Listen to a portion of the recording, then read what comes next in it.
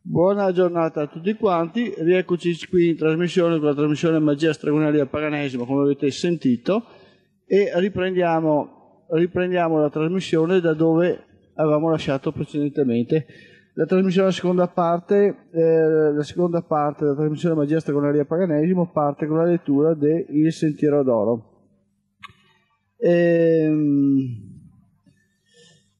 oggi prima però di partire con la, la trasmissione, andremo a dire un'altra, un'altra cosetta. Eh, vi ricordo che il giorno 26 giugno, venerdì 26 giugno, eh, alle ore 20.30, qui in sala radio a Cadoneghe, terremo una conferenza espositiva di trascendenza e immanenza nel paganesimo politeista in stragoneria. In pratica cosa che facciamo? Esponiamo i concetti della trascendenza e dell'immanenza nel paganesimo politeista, cioè cosa noi intendiamo per trascendenza e immanenza. Naturalmente seguirà il dibattito. E allora, eh, questo naturalmente è condizionato alle disponibilità della, della, cooperativa. Sicuramente non ci sono problemi, però voglio, eh, se dovessero, il locale dovesse servire per cose della cooperativa, ehm, chiaramente serve alla cooperativa. In ogni caso, Mm, l'appuntamento è per venerdì 26 giugno alle ore 20.30 in sala radio, via Belzoni 9, Cadoneghe, Padova, che è una laterale sinistra della strada del Santo che da Castelfranco porta a Padova, subito dopo la pizzeria Antico Guerriero. E niente, la conferenza si svolgerà come tutte le conferenze che teniamo noi, ci sarà una breve, eh, una breve introduzione eh, fatta da me e da Francesco in cui esporremo i concetti della trascendenza e dell'immanenza. Naturalmente sapete benissimo che io e Francesco siamo un po' diversi come persone, per cui i nostri concetti, anche se sono uguali, si esprimono in maniera diversa perché abbiamo dei percorsi eh, diversi. Naturalmente diremo le nostre cose, dopodiché apriremo il dibattito per chi vuole intervenire. Io inviterei le persone che vogliono intervenire in conferenza per dibattere di vedersi loro, il loro concetto di immanenza e trascendenza, così magari anche di confrontarlo col nostro.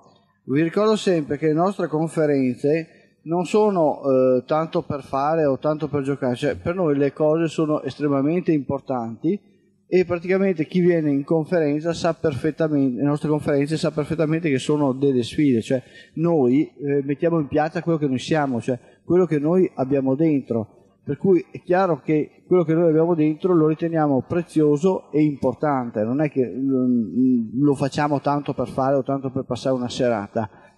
Per cui eh, i nostri comunque saranno degli scontri. Eh, chiunque viene, insomma, vabbè, naturalmente noi facciamo la conferenza, noi presentiamo le nostre cose, noi dibattiamo le cose che abbiamo noi e confrontiamo le cose che abbiamo noi con tutti quelli che vogliono venire a sentirci o a vedere. Per cui noi prendiamo le nostre cose, il nostro sentire, il nostro percepire, le nostre concezioni e le mettiamo a disposizione delle persone. Questo venerdì 26 giugno 1998 alle ore 20.30. 26 giugno, ore 20.30, a Sala Radio, via Belzoni 9 Cadoneghe. Questo sempre condizionato dalle possibilità che ha la cooperativa di fare questo. Detto questo, cominciamo con la trasmissione di questa sera, la trasmissione di questa sera che è Il Sentiero d'Oro, eh, parte lettura del libro Il Sentiero d'Oro. Che cos'è il Sentiero d'Oro? Il Sentiero d'Oro, per chi ancora non lo sapesse, è la lettura delle immagini della religione romana eh, viste da me, cioè praticamente io nel mio percorso di stragoneria sono andato a cercarmi cosa era più vicino a quello che io avevo percepito. E nella mia ricerca ho trovato appunto le immagini della religione romana che ho vissuto attraverso alterazioni della percezione e quello che io sono andato a percepire, quello che io sono andato a vedere, che io sono andato a sentire L'ho scritto nel libro Il Sentiero d'Oro. Naturalmente, eh, dal momento che ogni sentire pagano è diverso da un altro sentire pagano, chiunque può aggiungere qualcosa, ma sicuramente nessuno può eh, contrastare quello che dico, nel senso che quello che dico io è reale perché io l'ho percepito, io l'ho trasformato, io l'ho trasferito. Naturalmente è reale ma può essere insufficiente, può essere anche una, una stupidaggine, può essere anche una superficialità, può essere che si possa fare un miliardo di cose migliori delle mie. Indubbiamente si può farlo, però questo è quello che io ho fatto e là è dove io sono arrivato. Detto questo, cominciamo, eh, ricordo per, invece per quelli che partecipano, quelli che vengono a mangiare la pizza, mangiare la pizza mensilmente, eh, questa volta abbiamo cambiato pizzeria, siamo a pizzeria che ha indicato Giorgio l'ultima volta, comunque mi metterò in contatto sia per il giorno per il sabato 13 o per il sabato 20, insomma vediamo quando è possibile farlo, è, indifferente tutto sommato. Bene, la prima immagine che andiamo a, ehm, a leggere oggi è Giunone. Giunone, vi ricordo sempre che nel paganesimo non è tanto importante mh, la statua o quello che si racconta di è il dio di Giunone, è il dio di, ma è importante invece la coscienza, cioè ciò che la coscienza trasmette nella relazione di quello che l'individuo ha tirato fuori, cioè è il percorso di magia che fa l'individuo, che costruisce il Dio che ha dentro l'individuo, che incontra il, il divino che è fuori di lui e insieme marciano nel, nel continuo dei mutamenti. Per cui ciò che è importante non è il Dio come nei cristiani, ma è importante il divino che si incontra e incontrando quel divino si cammina assieme, non c'è assoggettamento nel paganesimo, questo ricordatelo sempre, sempre, sempre. Giunone è il passaggio dall'uno all'altro mondo, Giunone è la morte del feto e la nascita dell'essere della natura, Giunone di più, è l'essere che cresce per giungere alla vita, ad ogni nuova vita, un essere sempre giovane, in quanto eterno attraverso le trasformazioni.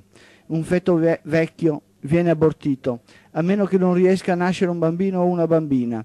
Un bambino o una bambina diventano vecchi ed immaturi se non si trasformano in uomini e donne. Un uomo e una donna diventano vecchi e cessano di essere qualora non sviluppino il loro corpo luminoso trasformandosi in esseri di energia. Giunone è l'energia che si sprigiona nel passaggio dall'uno all'altro stato dell'esistenza degli esseri della natura una concentrazione di energia cosciente che ha bisogno di riprodurre se stessa, rinnovandosi ed arricchendosi attraverso continui passaggi di stato e di sviluppo degli esseri della natura. Continui e senza nodi, senza intasamenti di energia vitale stagnata, la quale impedisce la trasformazione dell'essere bloccandolo nello stato attuale. Giunone è la fine dell'esistenza riferito alla specie in sé, è la coscienza dalla quale le specie attingono energia per le proprie trasformazioni. Non è ella i cicli della luna? Non sono forse i cicli lunari, morte e rinascite della luna stessa? Non sono forse i cicli lunari cadenzati come il, cielo, il ciclo mestruale? Giunone è una coscienza particolare. Ricorda agli esseri lo scopo della propria esistenza e li guida per mano, arricchendosi di energia vitale mentre ne cede per aiutare i percorsi dei singoli esseri. Ogni trasformazione è Giunone. Ogni passaggio da un mondo ad un altro dell'esistenza è Giunone. Giunone è pronto ad accogliere il bimbo che viene alla luce alla morte del feto. Giunone porge il braccio al ragazzo e alla ragazza quando diventano uomini e donne. Giunone è pronto ad accogliere l'essere luminoso che nasce alla morte dello stragone. Giunone cede energia per permettere agli esseri, e agli esseri umani in particolare, di cogliere l'opportunità della propria esistenza, perché dalla capacità di cogliere le opportunità dipende il destino di Giunone non è solo energia derivata da, dalla trasformazione, ma qualità di energia riferita al tipo, al livello e alla consapevolezza della trasformazione. Giunone, la cui energia è relazionata soltanto con quella di feti trasformati in bimbi, è una Giunone povera e debole, rispetto ad una Giunone la cui energia è quella di streghe e stragoni trasformatosi in esseri luminosi la forza della germinazione, la forza della nascita attraverso la quale gli esseri della natura producono e rinnovano la propria coscienza e consapevolezza, nascendo e rinascendo, è Giunone. Ogni nascita dà e riceve da Giunone. È come se Giunone ci desse energia vitale propria ad ogni nuova nascita dicendo prendi la mia energia, ti prego, usala unita alla tua volontà per diventare eterno. Il tuo diventare eterno è la mia ricchezza, la mia potenza. Quando l'essere abortisce se stesso, la sua energia torna in circolo. Giunone la riprende, pronta a cederla ad altri esseri, ad altre possibilità. Giunone è la sposa di Giove. Può essere diversamente? Giunone è la forza della nascita dei viventi all'interno della natura. Giove è la prima coperta vivente del pianeta. Giove è l'oggettività dell'esistenza della natura. Giunone è la forza perpetuatrice dei viventi all'interno della natura. Questi sono esseri e forze fondamentali, concorrenti all'esistenza della natura. La loro unione genera esseri capaci di proiettarsi nell'eternità. La loro unione esiste in funzione di generare esseri capaci di proiettarsi nell'eternità. Altre forze concorrono al processo, certamente, ma queste rappresentano i mattoni fondamentali del nostro esistente. Come Giunone genera i viventi nella natura, così Giunone genera Marte, la contraddizione. Come Giunone genera i viventi della natura, Così Giunone genera la primavera e con essa dà il via al ciclo dell'anno. L'anno può iniziare dal ciclo solare, lunare o dal ciclo della natura, relativo al luogo dove si trova. È soggettivo, ma il ciclo della natura è un ciclo che ha inizio da Giunone. E dopo Giunone eh, un altro dei divini che è fondamentale nel mio percorso di stregoneria ed è forse la prima, la prima, divinità romana che io ho incontrato, che io ho visto e con la quale ho fuso il mio fare. E questa divinità è Giano, fondato nel passato, radicato nel presente, proiettato nel futuro. Questo essere Giano è quanto simboleggiato da questa triade. La trasformazione in relazione al passaggio del tempo e al susseguirsi dei mutamenti. Giano è il personaggio che non si ferma, non ha tempo per riflettere, in quanto costantemente proiettato nell'attimo seguente. È l'attimo seguente che rivela a Giano le opzioni del suo fare nel presente ed egli sceglie, agendo grazie agli strumenti che si è dato nei momenti passati. Non è il passato che costruisce e determina il fare nel momento presente, ma è bensì il futuro ad indicare e determinare il fare nel momento presente, mentre il passato si limita a fornire i mezzi per l'azione. La stessa azione nel presente ha come scopo espandere l'individuo fornendogli mezzi attraverso i quali meglio poter scegliere fra le opzioni presentate. Giano dunque vive il futuro, il futuro e i cambiamenti che verranno dopo essersi costruito attraverso le scelte nei momenti passati. Per il fatto di vivere il futuro o i futuri possibili, Giano può scegliere in base alla propria volontà quale di quei futuri rendere presente. Giano non si volta mai indietro per guardare cosa ha perso e dove ha sbagliato. Il suo sguardo rivolto al passato indica la sequenza dei mutamenti da cui proviene. Il suo sguardo rivolto al futuro indica la direzione nella quale è proiettato.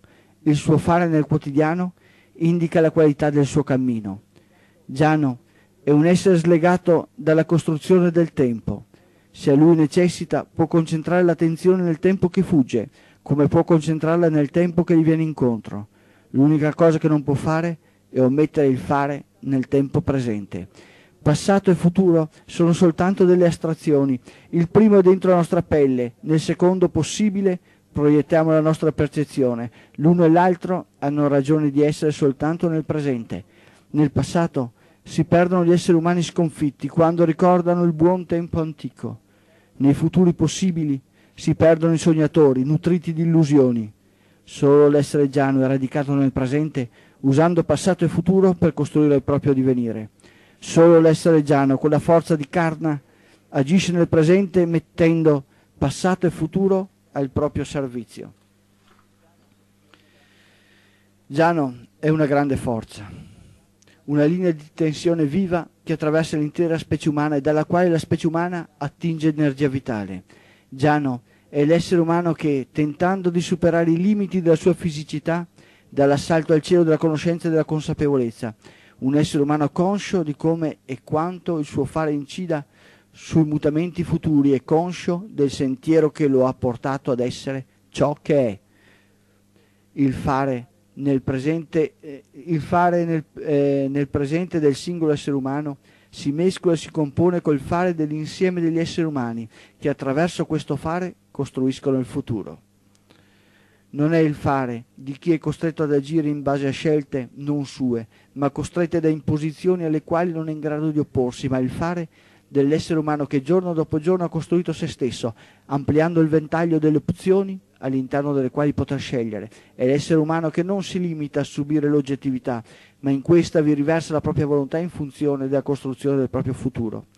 Un essere umano capace di estendere le ali della percezione, risalendo i futuri possibili in base alle sue scelte e che ha costruito attraverso mille sfide superate nel passato.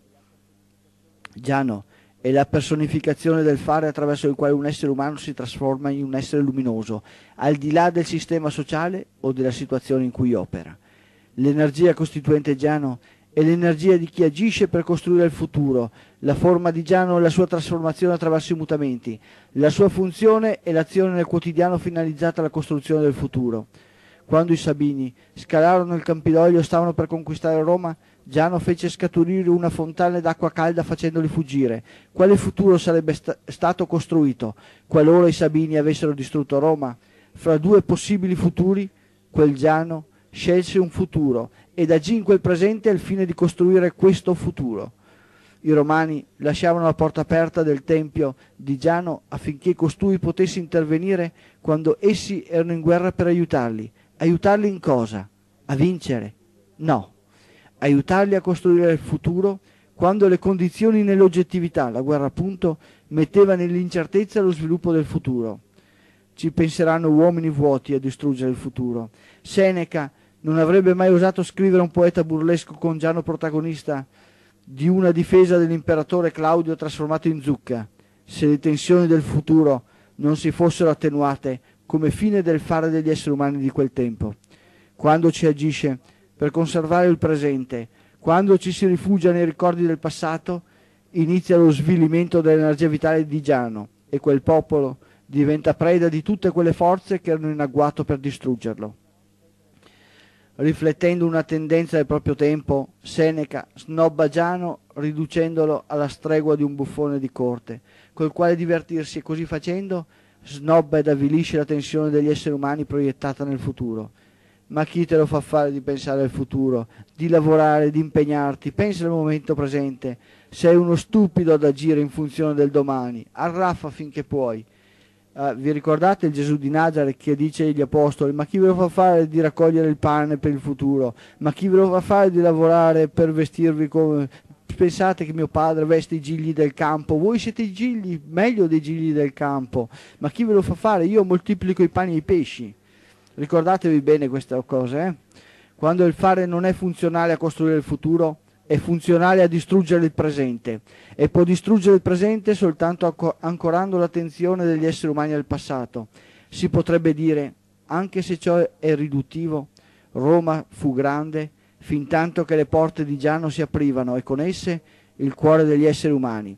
Roma cessò di essere grande quando il cuore degli esseri umani si chiuse al futuro, permettendo ai cristiani e a chi per loro preparava il terreno di seminare miseria ancorando l'attenzione degli esseri umani al passato, negando loro ogni futuro se non quello di asservimento nella miseria.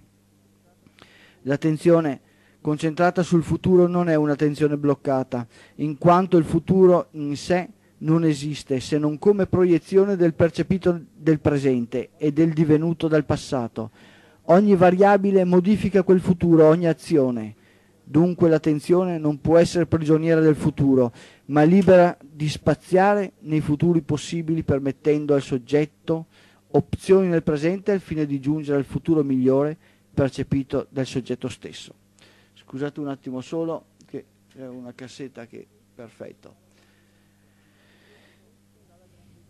In questo sta la grandezza di Giano, in questo consiste l'età dell'oro fin tanto che gli esseri umani hanno l'attenzione nel futuro possono agire soltanto per migliorare il presente in funzione del miglior futuro concepibile. Quando gli esseri umani vengono costretti a concentrare la loro attenzione nel presente, sono costretti ad arraffare, appropriarsi di quanto esiste, in quanto questa è la loro unica possibilità di sopravvivenza. Costoro, senza futuro, vogliono toglierlo anche ad altri esseri umani. Ecco, ora non ho più futuro, ma tu dammi la tua vita, io ti faccio ciò che voglio dopo. Se me la darai senza resistere, Dio, che mi ha delegato come, come tuo padrone, ti consentirà di accedere al paradiso, dove gli schiavi potranno vivere in ozio senza lavorare. Questo è il motto dei cristiani.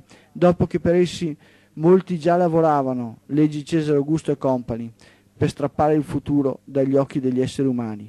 Quando non c'è più tensione verso il futuro, c'è saccheggio del presente e nostalgia del passato. Per saccheggiare il presente è necessario distruggere la tensione verso il futuro, accecare gli occhi che lo vedono e far piangere i cuori di nostalgia del passato. Per distruggere il presente è necessario uccidere Giano. Per ridurre i popoli in miseria e sottometterli è necessario uccidere Giano. Aprire le porte del Tempio affinché Giano soccorra gli esseri mentre costoro affrontano le contraddizioni dell'esistente. Per poter costruire un futuro è importante, ma aprire i cuori nella speranza del divenire è diventare Giano che scuotendosi le catene afferra il futuro nelle proprie mani. E questa è la seconda figura di oggi ed è Giano, una delle figure che a me sono più care. E dopo aver parlato di Giunone, l'essenza della vita e della nascita, dopo aver parlato Giano, che è l'essenza dello scorrere del tempo e di come agire per costruire il futuro, parleremo di un'altra figura del paganesimo romano e quest'altra figura è Fons. Ricordatevi sempre che io uso sia termini romani che termini italiani indipendentemente e indifferentemente a seconda delle scelte del momento. Non è importante il nome che uso, è importante il senso della figura, è importante ciò che io ritengo sia la figura. Fons è l'essere che genera la fonte, il pianeta Terra è un essere compatto, ma da una spaccatura esce acqua e produce contraddizione. Quel produrre contraddizione è Fons. La fonte è un nodo attorno alla quale ruota la vita degli esseri, non solo come abbeveratoio, ma soprattutto come elemento della vita degli esseri stessi. Fons è l'essere capace di generare contraddizioni. Fons è l'essere che scuote dal torpore. Fons è lo scuotitore del mondo circostante. Dal punto di vista politico-sociale, Fons è l'agitatore, non colui che si limita a criticare la situazione esistente, ma colui che fa della ribellione alla situazione esistente l'essenza del proprio operare. E ancora, non una ribellione per appropriarsi dell'esistente, ma come l'acqua faticosamente si apre un varco nelle viscere della terra per poi fluire più o meno copiosa da una fonte, così l'agitatore sociale si fa strada nelle contraddizioni dell'esistente per poi fluire libero da ogni condizionamento che il sistema sociale in cui è nato, vissuto e cresciuto ha immesso in lui al fine di farlo funzionare per i suoi scopi. A quella fonte molti si abbeverano, a volte diventano fonti essi stessi, a volte per tentare di inaridirla. C'è chi vuole una fonte c'è chi vuole una fonte rispondente ai suoi bisogni, senza chiedersi quali questi siano, senza chiedersi se essi stessi possano essere fons. La fonte è fons, sgorgogliante, allegro e felice, leggero, di essere felice di essere riuscito nel proprio intento ad aprirsi un varco nelle viscere della terra. Fons è la fonte dell'essere felice, mentre distende se stesso dopo essersi costruito un varco nelle costrizioni del quotidiano. Fons è lo stregone, mentre guarda il mondo circostante dopo la lunga lotta per la costruzione del proprio doppio di energia. Ma Fons è anche il corpo morto sul quale pasteggiano gli esseri avvoltoi. Un corpo distrutto a cui non resta che mettere a disposizione quel che di lui resta al fine di permettere ad altri esseri di continuare il loro cammino lungo la via del sé, sviluppando la propria coscienza di sé. Fons è l'essere sconfitto, che disperde la propria energia vitale nel vento, mettendo a disposizione di chi ne potrà fare un uso migliore. Fons è la fonte, un centro di energia vitale che provvede a distribuire condizioni all'interno delle quali permettere agli esseri di svilupparsi non c'è una relazione immediata fra l'essere umano e Fons. L'essere umano diventa comunque Fons nei vari momenti della sua esistenza, quando esercita la propria volontà. Diventa comunque Fons anche nella sconfitta, distribuendo al vento la propria energia vitale rimasta e ai vermi il proprio corpo. E questa è la terza immagine di oggi. La quarta immagine che sarebbe da leggere è Diana, ma Diana l'ho già detto almeno due o tre volte qui in radio, per cui oggi ve la salto Diana, non la leggerò. Però voglio concludere eh, le immagini di oggi con una quarta immagine, anche questa che per me è molto preziosa, ed è eh, l'immagine di Minerva. Minerva è il sapere della ragione, non l'astratto sapere di Aristotele e il suo disprezzo per coloro che risolvono i problemi dell'esistente attraverso il lavoro, ma la conoscenza e il sapere legato alla costanza nell'esecuzione del proprio lavoro. Minerva è il lavoro, trasformazione della materia in prodotti atti a soddisfare i bisogni umani, come fonte di conoscenza. Minerva è tratta a Roma da prigioniera, catturata ai faleri. Gli si legano le mani. Il padrone, giunto al controllo del lavoro dei suoi schiavi, deve impedire loro di progredire lungo la via del sapere e della conoscenza, deve bloccarli o distruggerli. Le catene con le quali li lega devono essere tanto più robuste quanto maggiore è il loro bisogno di sapere, la loro forza e determinazione. Diana tiene accesa la scintilla di libertà, Minerva è il suo nutrimento. Il disprezzo di Aristotele per il sapere era feroce.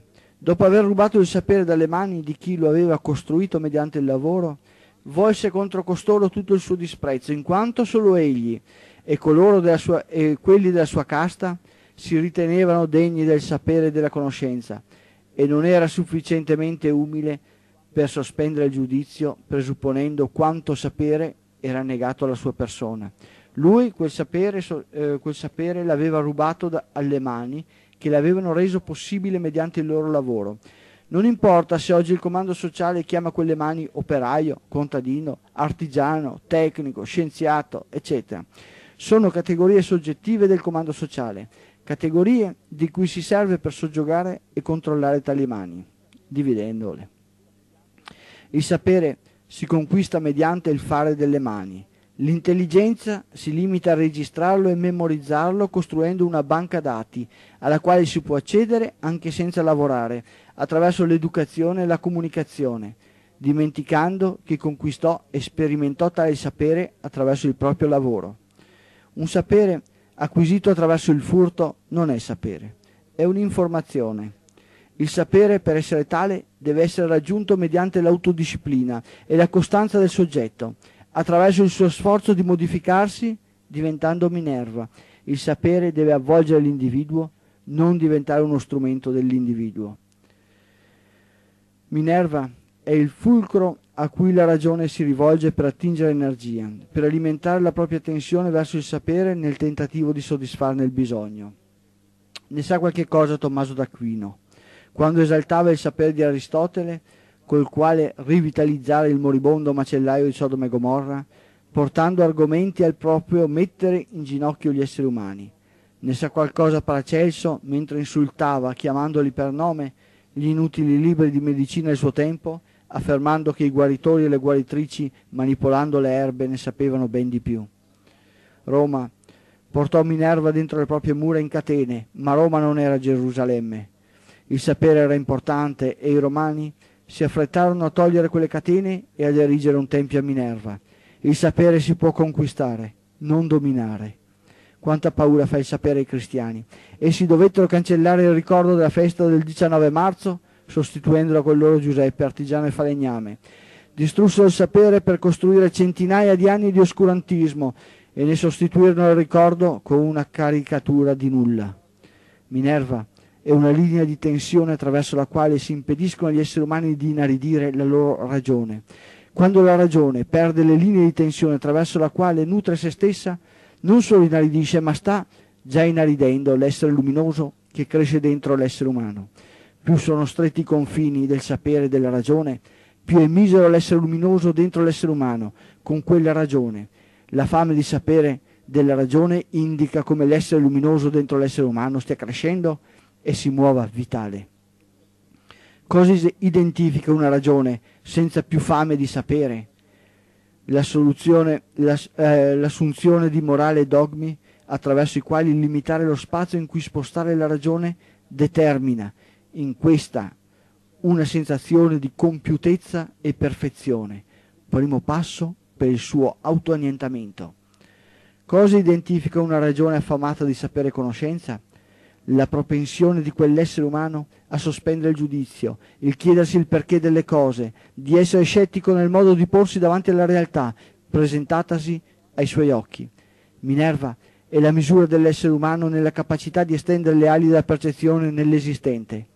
Che questa misura non abbia limiti e possa la nostra ragione nuotare in Minerva, diventando Minerva essa stessa. La civetta, dai grandi occhi lucenti, ben rappresenta Minerva. Il suo volo è rapido e silenzioso, ma giunge all'obiettivo, come il sapere. Costretto e combattuto giorno dopo giorno, giunge all'obiettivo. Costruisce il corpo luminoso dell'essere umano che lo, ha, che lo ricerca.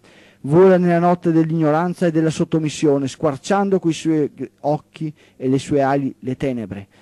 Con gli artigli si aggrappa a quanto ha raggiunto e non lo molla finché non l'ha mangiato, così il sapere è tale non quando viene descritto, ma quando viene fagocitato.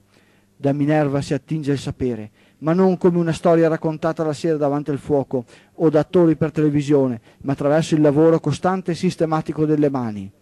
Si lamenta lo studioso di miti, perché Minerva non ha leggende, e come potrebbe averne? Non esistono leggende, perché il sapere è in sé, non è spettacolo di sé. Il sapere stupisce, ma il suo stupore è gioia nel silenzio. Solo chi ricerca il sapere può comprendere la gioia nel, nel dischiudersi di porte fino a ieri ignote. Quella gioia va nascosta al comando sociale, in quanto essa è il suo terrore.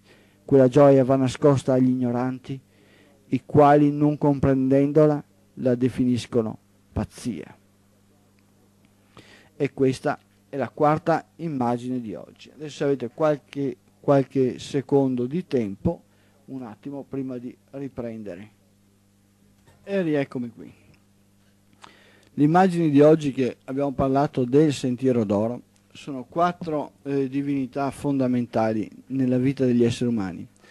Ricordo che eh, due sono le operazioni di magia fondamentali di cui noi dobbiamo sempre avere consapevolezza e coscienza.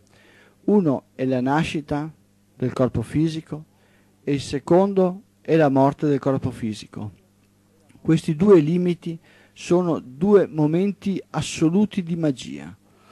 Dopodiché esiste un altro momento intermedio in cui il bambino si trasforma in fanciullo o fanciulla là abbiamo un altro stravolgimento dell'energia, abbiamo un'altra trasformazione, abbiamo fenomeni di poltergeist, abbiamo tantissimi fenomeni in quel momento, abbiamo un rivolgimento completo dell'energia vitale della persona. Bene, ricordiamoci comunque che la nascita del corpo fisico e la morte del corpo fisico sono due atti di magia, i più grandi atti di magia che esistono nella vita delle persone. Questa è la magia. Per cui tutto quello che porta a costruire questo, tutto ciò che porta a costruire questi due momenti, sono sempre degli atti magici, sono sempre dei travasi di energia vitale, sono sempre dei momenti di trasformazione fondamentali. Per questo Giunone è una forza dell'universo, è una forza dell'universo che attraversa l'essere natura, che attraversa interi, tutti gli esseri della natura e alimenta la nascita degli esseri della natura. Praticamente è come se Giunone eh, desse un pezzo di se stessa ogni volta che un essere della natura nasce. In realtà non è che esiste un Dio che eh, fa nascere qualcuno, ma mette dentro qualcosa di sé, cioè alimenta la possibilità di costruire l'altro momento di magia, che è la morte del corpo fisico, che però è una nascita, cioè è pot- potenzialmente è la nascita del corpo luminoso, per cui Giunone alimenta tutto questo ed è i momenti centrali di questi, eh, di questi due momenti della vita degli esseri della natura e degli esseri umani nel nostro caso. Questa è la magia in assoluto. Quando parliamo di magia parliamo di questo. Non esiste la magia del fermati vento, la bacchetta magica di Mosè, tutte queste sono tutte cazzate, sono tutte imbecillità. La magia è il momento della nascita e il momento della morte, due momenti preziosi nell'esistenza degli individui, due momenti che vanno curati attraverso un'altra operazione di magia, cioè la costruzione di se stessi. E abbiamo visto per la costruzione di se stessi un momento fondamentale, un momento fondamentale che è Minerva. Minerva eh, non è altro che il sapere della ragione, cioè quel sapere che noi costruiamo attraverso il lavoro delle nostre mani. Noi con le nostre mani manipoliamo la materia, ma mentre noi con le nostre mani manipoliamo la materia, la materia manipola noi. Qualunque azione noi facciamo, questa azione ci costruisce. Questa azione altro non è che la via alchemica di ogni persona, cioè ogni persona fa delle azioni per manipolare la materia. Se una persona non ha, fa delle azioni per manipolare la materia, perde qualcosa, cioè è come se la sua via per costruire il suo corpo luminoso fosse menomato. Questo non significa che non costruisce il corpo luminoso se non manipola la materia, però perde qualcosa di fondamentale e perde essenzialmente la capacità di costruire il sapere. De- eh, questa persona deve prendere il sapere da altre fonti, cioè deve avere delle informazioni e deve riuscire comunque a fagocitare quel sapere. Il sapere si costruisce soltanto con le mani. Parlo del sapere della ragione, il sapere del pensiero, il sapere della vita, cioè trasformando la materia in merci e le merci in prodotti che servono a soddisfare i bisogni umani. Solo questo è il lavoro. Chiaramente in un sistema sociale il lavoro può diventare fatica se è sottomissione o magia se costruisce il nostro corpo luminoso, se costruisce il nostro sapere. Il controllo operato dalle religioni monoteiste ha fatto in modo che il lavoro sia fatica, il lavoro sia distruzione del riposo della persona, per cui fu necessario fare tutta una serie di lotte per conquistare il diritto all'ozio, ma non l'ozio contro il lavoro, ma l'ozio contro il lavoro che trasforma la persona in merce, la trasforma in bestiame da fatica. Il lavoro in realtà è manipolazione della materia e, e, diventa un atto di magia quando quella manipolazione diventa sapere, diventa conoscenza, diventa interazione fra l'individuo e la materia che manipola. Poi abbiamo visto un'altra divinità fondamentale, abbiamo visto Giano. Eh, Giano è una divinità che non, non ha un referente nella vita, ha un referente su come noi eh, puntiamo gli occhi. Cioè, ogni essere umano può essere Giano nella misura in cui agisce nel presente, non in funzione del passato, non in funzione di progetti fatti nel passato, ma in funzione del tempo che gli viene incontro, in funzione di costruire un futuro possibile. Eh, la funzione di costruire un futuro possibile vedremo come Giano altro non è che l'intento cioè quello che io parlo nel crogiolo dello stragone come intento, nella regione romana è Giano. In pratica, eh, quello che io faccio, lo faccio nel tentativo di costruire il futuro. Però il progetto che ha la mia ragione di costruire il futuro non è esattamente quello che farò, è la mia ragione che dice, boh, pensiamo di riuscire a fare questa cosa. Ma il fatto di pensare di fare questa cosa io non, non, è detto che faccia quella cosa, bisogna vedere le forze che mi spingono per fare, però quel, il pensare di fare quella cosa è comunque allineato con l'intento. Però quando nuovi fenomeni arrivano al mio fare, non fanno altro che variare quello che sto facendo per arrivare magari anche ad, ad altri punti, ad altre cose.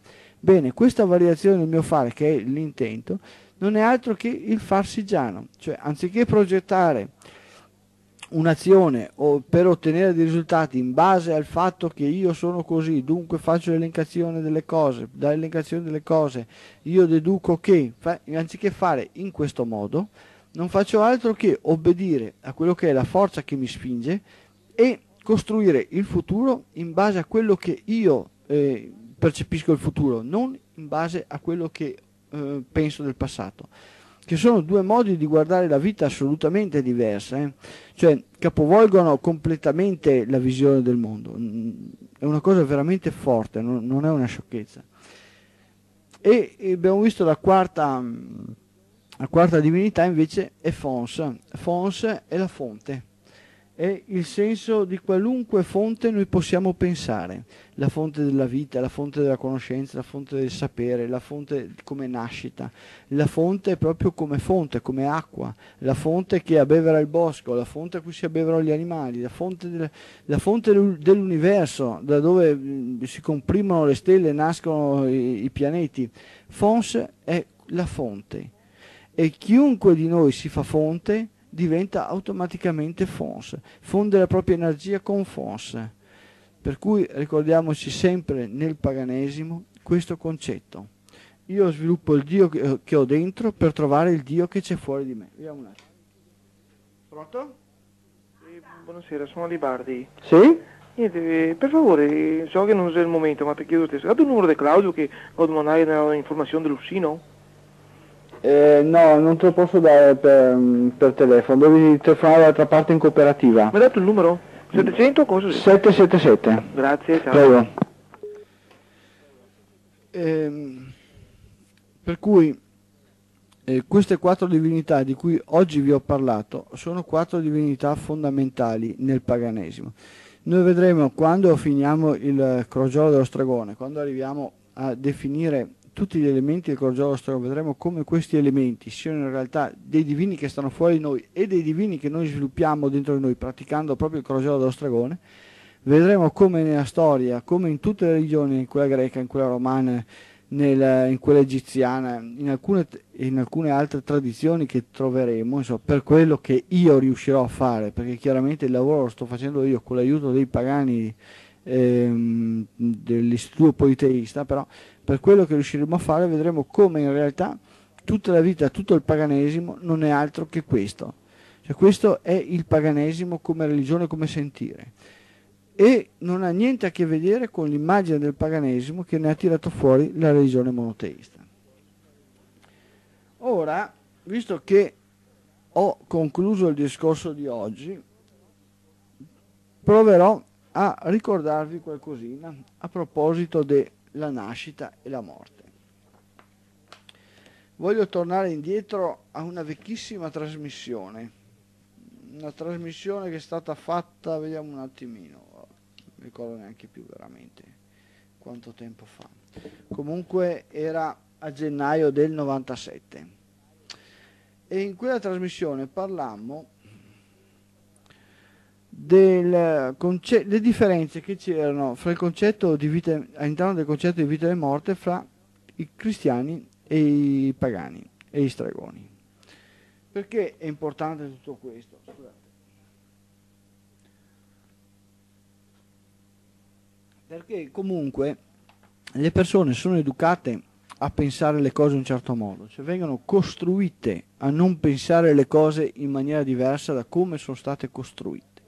Cioè, un concetto nuovo, far entrare in una persona un concetto nuovo o un concetto diverso dal quale questa persona è stata educata, non è, eh, torno a ripetere ancora, l'ho già detto, ma voglio ancora ripetere il discorso, non è una questione di un bel ragionamento, ma è un'azione di magia, cioè è un'azione di trasformazione della persona. Perché questo?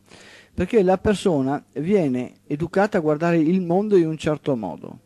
Per riuscire a far sì che la persona veda il mondo anche in un altro modo, non è mica detto che deva perdere quel modo di vedere, bisogna pigliare lo sguardo della persona e girargli lo sguardo.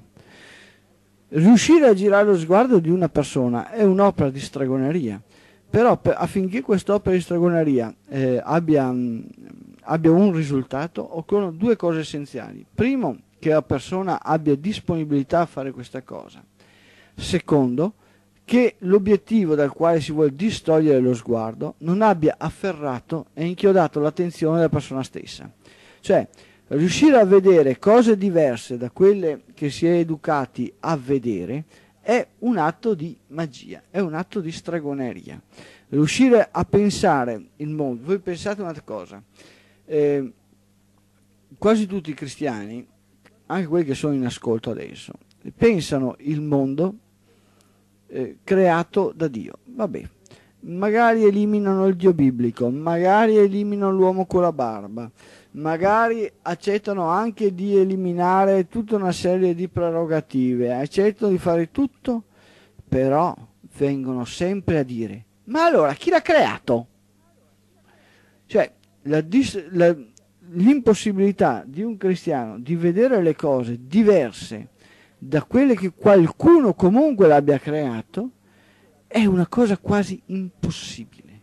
Cioè, necessariamente il cristiano deve mettere una volontà creatrice all'inizio del tempo, sempre, sempre. Voi non tro- troverete mai un monoteista che possa vedere le cose in quel modo.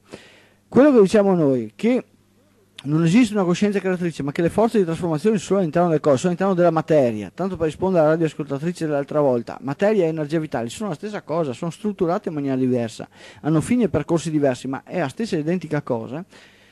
È di una difficoltà veramente enorme. È di una difficoltà enorme proprio perché è un atto di magia. Cioè, al tuo pensiero che possa esserci una volontà che crea, aggiungi che non esiste nessuna volontà ma che la forza delle trasformazioni sia dentro le cose, dentro gli oggetti, dentro le persone, dentro i viventi che ti circondano e che loro sono delle coscienze di se stesse. Bene, soltanto aggiungere questo al proprio modo di pensare è arte di stregoneria, perché significa girare lo sguardo di una persona. Quando tu eh, vai per strada e pensi a un albero, Comincia a pensare all'albero come una coscienza che tenta di espandersi, come un'intelligenza uguale a te. Comincia a pensare al filo d'erba come un'intelligenza uguale a te. Questo non vuol mica dire che non, lo levi o non lo butti via. Però pe- comincia a pensare agli oggetti che ci circondano come delle coscienze uguali a te stesse. Cioè, solo per riuscire a fare un'operazione di questo genere è una delle operazioni di stregoneria più grandi che esistano. Ebbene, tornando al discorso precedente, vediamo il discorso fra la vita e la morte dal punto di vista dei cristiani e dal punto di vista dei pagani e degli stregoni. Allora, per i cristiani, e qua invito a tutti i cristiani, se non è vero, di alzare la mano. Eh? Ricordo che il numero di telefono è 049 700 700 e stiamo trasmettendo da Radio Gamma 5 su 94 FM. Per i cristiani, la vita è un processo di asservimento a Dio in quanto questa è un suo dono. Mi dicano se questo non è vero. Per i pagani e gli stregoni la vita è un'occasione da sviluppare per riuscire a diventare eterni. E qui c'è una contraddizione che non è sanabile sotto nessun, nessun aspetto. Cioè, uno distrugge se stesso, l'altro tenta di costruire se stesso. Anche la distruzione è una costruzione in negativo, però non porta a niente. Vediamo il secondo punto. Per i cristiani la morte è il momento in cui l'anima va al giudizio divino, qualunque tipo di giudizio non ha importanza. Per i pagani e gli stregoni la morte del corpo fisico è il momento della nascita del corpo luminoso. E qui potremmo dire, ah ma allora veramente è la stessa roba, no? perché l'anima non va al giudizio divino, mentre invece st'altri partorisce il corpo luminoso. Non è la stessa roba, no, non è la stessa cosa.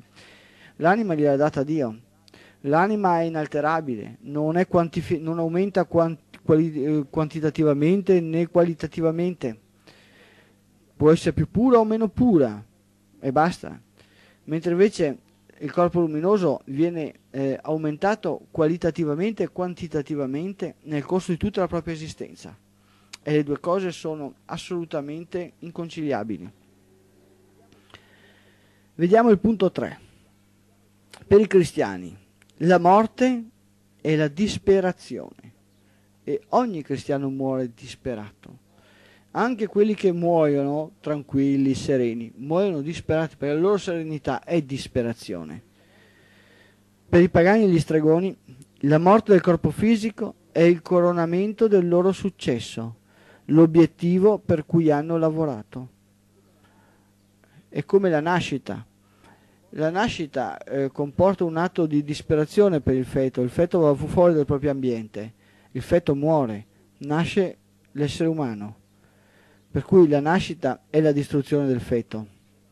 E il feto non sa cosa, cosa arriverà, però il feto ha lavorato per crescere, ha, è arrivato anche a succhiare la propria madre, gli ha portato via tutto, gli ha portato via vitamine, gli ha portato via minerali, l'ha lasciata miserabile praticamente, si è portato via tutto, ha lavorato per costruire se stesso e proprio perché ha lavorato per costruire se stesso, proprio succhiando la madre, portando via tutte le vitamine, il ferro, le proteine, vedete voi insomma come è ridotta una persona se non usa degli integratori molto forti, ebbene, proprio perché ha lavorato per fare questo, per costruire se stesso, può partorire, essere partorito come essere umano. Muore il feto ma nasce l'essere umano però avrebbe potuto anche non riuscire a mangiarsi la madre, eh? Avrebbe potuto anche non riuscire a succhiare via tutti i sali minerali, a portarsi via tutto.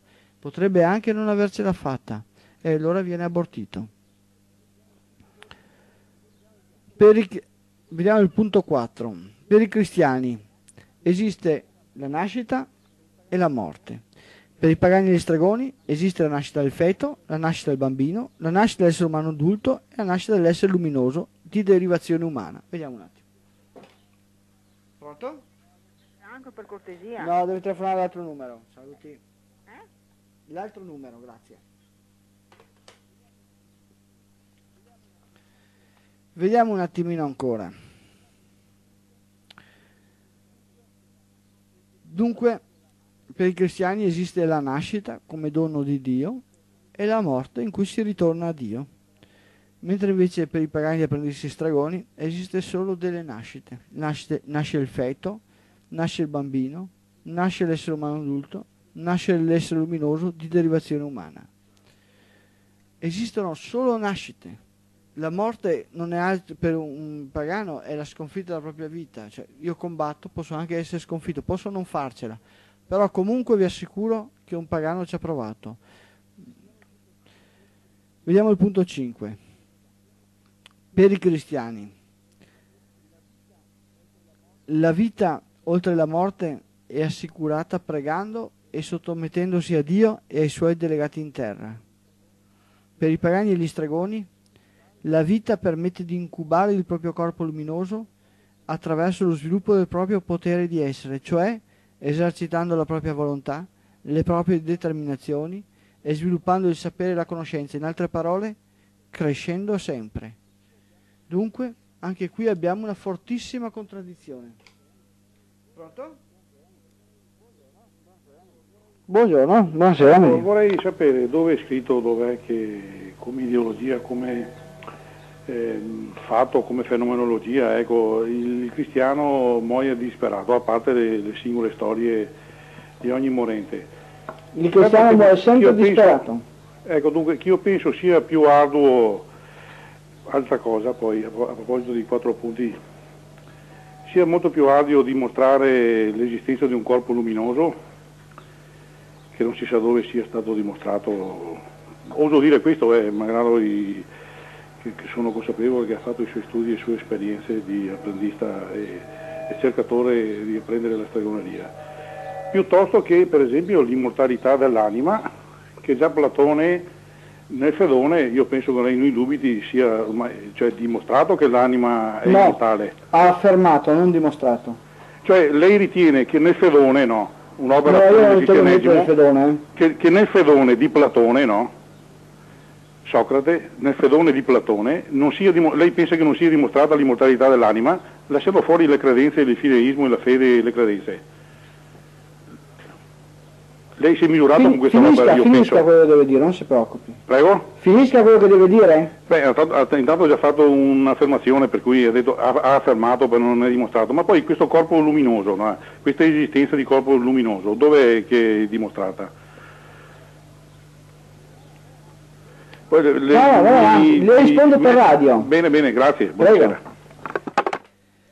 Allora, la dimostrazione mm, è parte della scenografia cristiana. È il Gesù dei cristiani che grazie alla sua vuotezza e alla sua incapacità deve dimostrare di farò risorgere Lazzaro, fermati vento, cammino sulle acque, moltiplico i panni e vi caccio via il demone. Allora, eh, queste sono cazzate.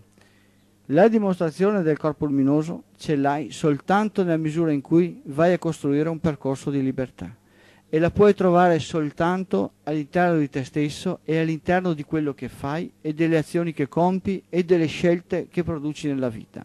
E questa è l'unica dimostrazione che ha una validità assoluta. Per quanto riguarda le dimostrazioni di Fedone sull'anima, l'immortalità dell'anima, quelle sono tutte seghe. Perché sono seghe? Perché partono da presupposti fissi e vanno a finire a dei presupposti fissi, cioè sono solo esercizi di retorica.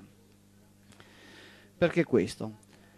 Perché l'anima non, è, non esiste un'anima. Il fatto che Platone vada a pensare nei termini di anima è solo una sua scelta assolutamente soggettiva, è una sua scelta personale, va a articolarsi con le sue credenze e va alla ricerca delle sue soluzioni. Questo fa parte del suo pensiero, fa parte del pensiero di Platone, ma quel pensiero viene negato dai presupposti e dai finali. In realtà noi sappiamo in natura, e lo possiamo vedere, che l'essere umano nasce e muore. Per cui tutte le nostre eh, idee, tutte le nostre posizioni sugli esseri, eh, partendo dal punto di vista logico, è dalla nascita alla morte. E dunque possiamo soltanto presumere, eh, dal punto di vista logico e razionale, che con la nascita dell'essere umano, col concepimento dell'essere umano, col primo sperma, ci sia la prima carica di energia vitale che attraverso delle trasformazioni cresce sempre. Per cui dal punto di vista logico noi possiamo soltanto presumere che eh, il campo di energia vitale dal primo attimo venga modificandosi fino alle trasformazioni.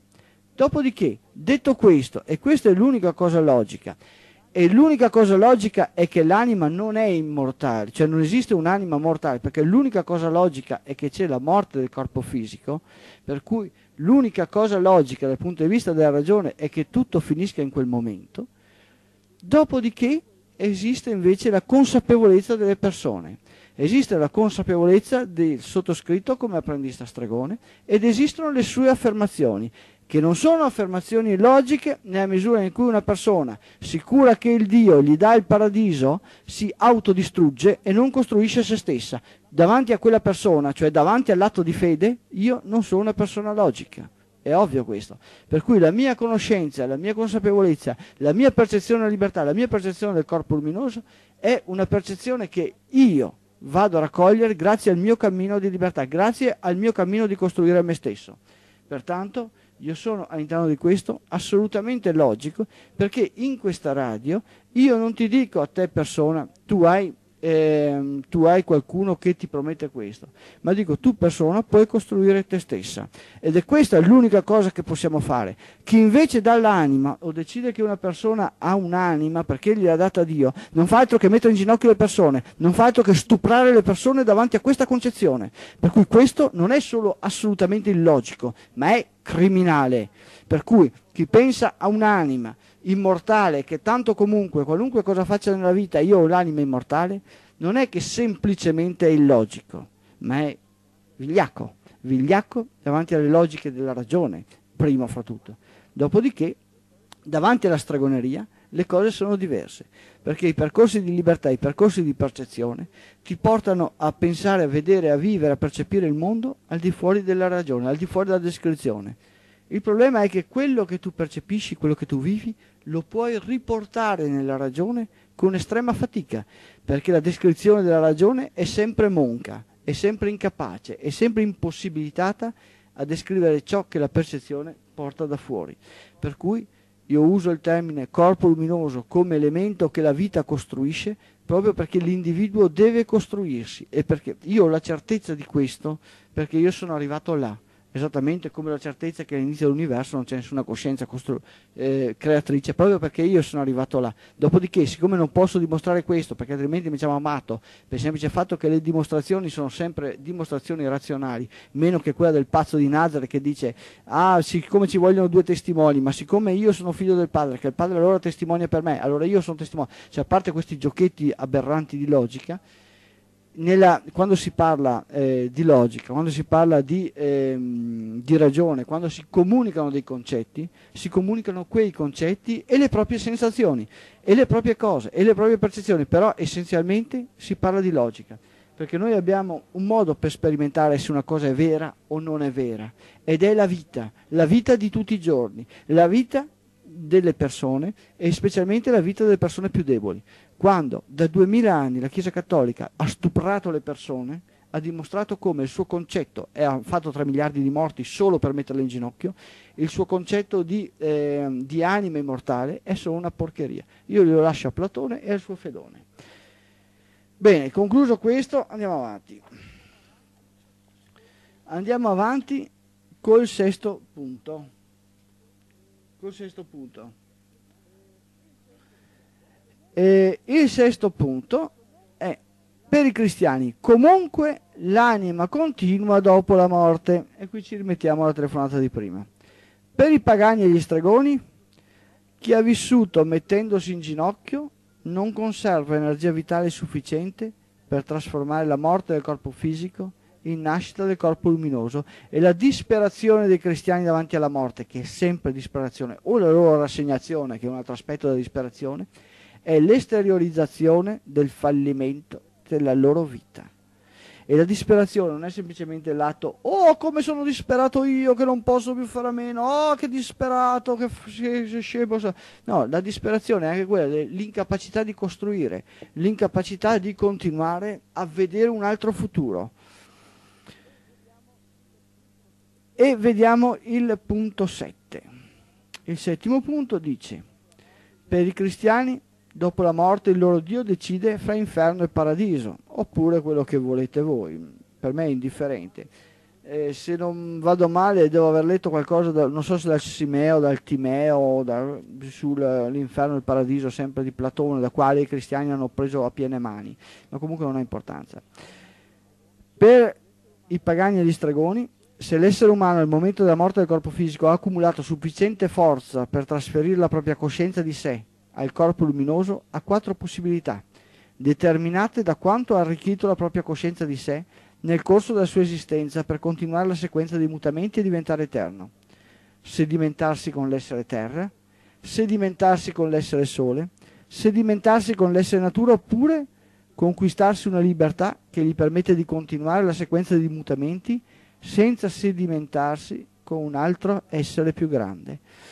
In pratica eh, la vita costruisce la consapevolezza di se stessi, costruisce la costruzione del proprio corpo luminoso e uso il termine corpo luminoso proprio per usare un termine generico che indichi, che indichi la vita dell'essere umano come una specie di impastatura, come se l'essere umano prendesse la propria energia vitale da ogni parte delle sue cellule, la mettesse insieme e la amalgamasse nel corso della propria vita, usando la propria volontà, le proprie determinazioni, il proprio fare.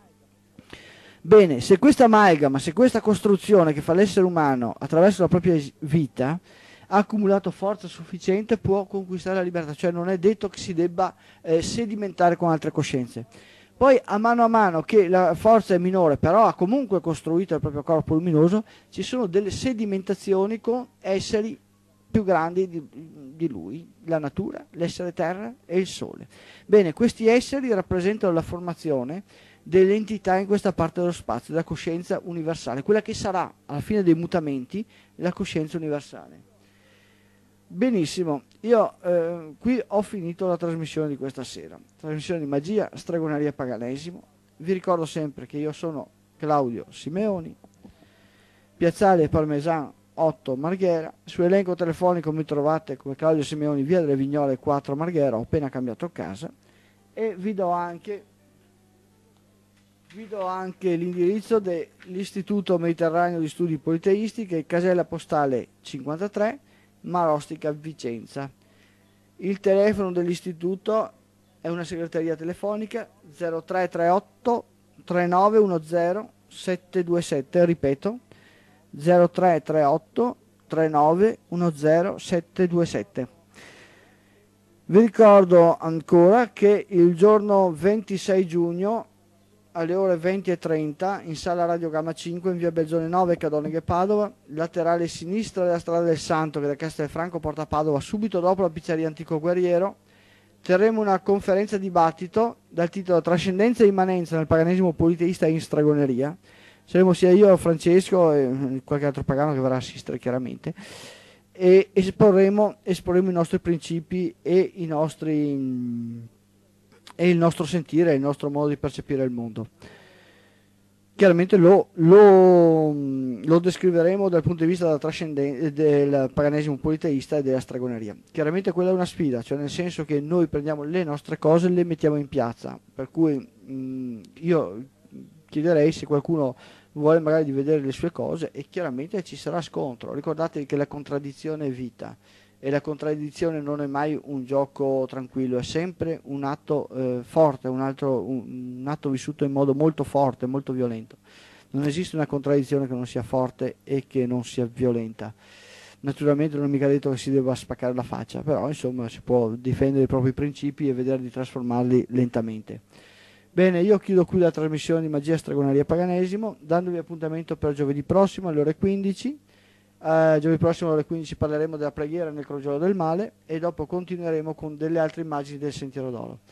Vi ringrazio per avermi ascoltato e vi do appuntamento per giovedì prossimo. Arrivederci e grazie a tutti. Ricordo questa è Radio Gamma che trasmette su 94 FM, la migliore radio del Veneto.